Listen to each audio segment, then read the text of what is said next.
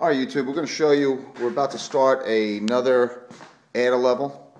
And uh, this is the first floor. You can see the staircase going up.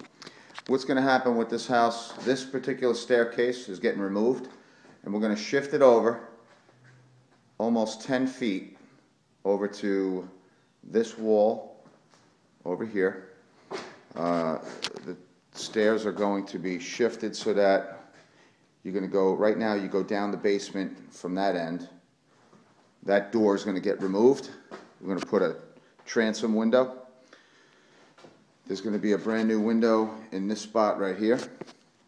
The staircase is getting shifted, so what's gonna happen is, I'll go around the room here. This is the old front and rear bedroom on most capes. You see that orange mark? That's gonna be the entry to going down the stairs. So it's gonna turn this way and it's go, gonna go down into the basement. All right, there's gonna be a, a little return wall installed right here. This whole wall separating the living room and the existing front bedroom is gonna get removed.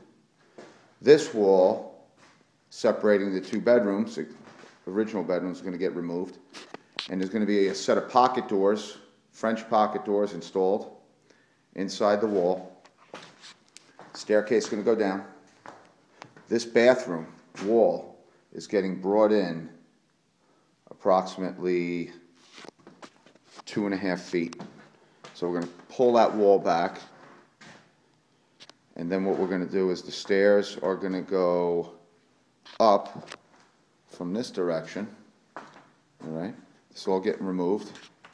And the stairs will start right about where that outlet is, and they're gonna go up that direction.